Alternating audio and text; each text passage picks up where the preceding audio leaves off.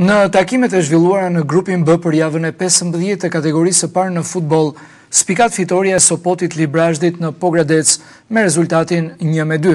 Librazhdasit kanë arritur të marrin tri pikë me meritë në qytetin tonë, falë dopjetës Idrizaj Begeja, ku Idrizaj kalon skuadrën avantazh në minutën e njëzet e tretë, duke mbyllur pjesën e parë në favorin zero me një për miqtë. Përsëri janë librazhdasit e Sopotit që dyfishojnë rezultatin me dy gola me anë të Begesë në minutën e tridhjetë e pestë. Duket se dopjeta mundëse zgjon liqenorët tanë të cilët ngushtojnë diferencën me anë të Pengut në minutën e gjashtëdhjetë e një të takimit.